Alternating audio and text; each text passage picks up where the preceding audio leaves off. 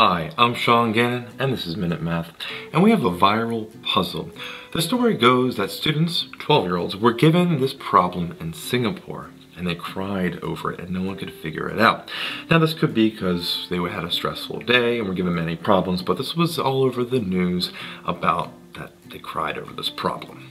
The problem is this, we're given five semicircles that are identical, and we want to find the diameter of one, and they're giving us some values here and some lengths that are given.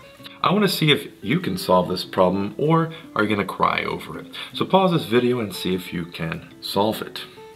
Okay, did you pause it? Did you solve it? Did you cry? Let me know down in the comment section below. But now we're gonna solve this. I'm gonna give some, well, variables here to some missing lengths. And again, not drawn to scale, don't judge me. We know this semicircle diameter has a, well, we have 22 here plus some other length here. And that length again is repeated here and that 22. So let's call that length x right there. So we have 22 plus x is that diameter. Now let's go look on the inside part. We have 12x and 22 equal there, same here, right? This length 16 is the middle. These side lengths will be the same. Let's call that a y right there.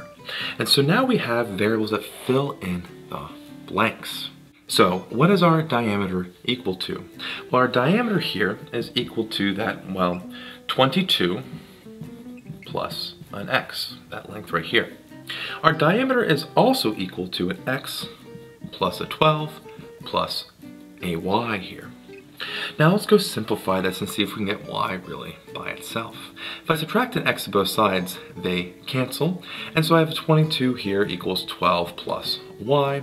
Subtract both sides by 12 and we get y is equal to 10. And that's going to be helpful with our last part here.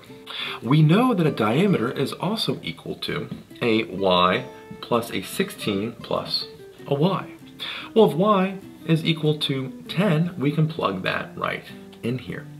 We have 10 plus a 16 plus a 10, and so our diameter, 10 plus 16 plus a 10 here, is a 36. Did you get the answer of 36 for the diameter? Did you cry trying to solve it? Either way, let me know in the comment section below. I want to see if you can solve this problem or are you going to cry over it? And uh, notice right now in the middle here we have 12. Oh, sorry. So let's go fill in what we know about our, uh, no, that's not the right way, right way to say it. It's also equal to a y plus 16 plus a y, right? It's equal to a y plus a 16 plus a y here. Nope, not using that equation yet. Now it's also equal to an x plus 12 plus a y. x plus 12 plus a y, Sean. Did you get the answer of 36? Did you cry trying to solve it?